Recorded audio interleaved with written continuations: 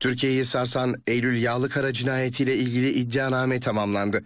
Katil zanlısı için ağırlaştırılmış müebbet ve 39 yıl hapis istendi. 8 yaşındaki Eylül Yağlıkara 22 Haziran 2018'de Ankara Polatlı'da Uzunbeyli köyündeki evinden oyun oynamak için çıktı.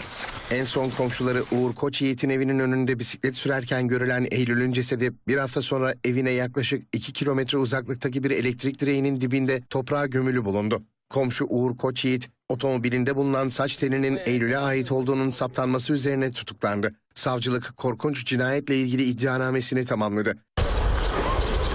İddianameye göre Eylül olay günü öğle saatlerinde arkadaşıyla birlikte Uğur Koç Yiğit'in evine gidip çocuklarını sordu. Evde yalnız olan Uğur Koç Yiğit, Eylül'ün arkadaşını gönderip küçük kıza cinsel istismarda bulundu. Eylül, Uğur Koç Yiğit'in annesi Huriye Koç Yiğit'in eve gelmesi üzerine kaçtı. Uğur Koç Yiğit peşinden gittiği Eylül'ü zorla otomobiline bindirdi. Boğarak öldürdükten sonra kendi diktiği elektrik direğinin dibine gömdü. İddianamede Uğur Koçyiğit'in telefonunda yapılan incelemede Mayıs ve Haziran aylarında çocuk istismarına yönelik internet sitelerine girdiğinin saptandığı da belirtildi. Eylül'ün cesedinin gömüldüğü elektrik direğinin yakınlarında bulunan sigara izmaritinde de katil zanlısının DNA'sı tespit edildi.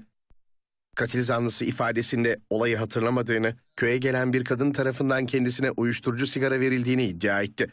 Koç Yiğit, her şey ama nereye gittim, ne yaptım hatırlamıyorum. Kendime geldiğimde evin önünde arabadaydım dedi.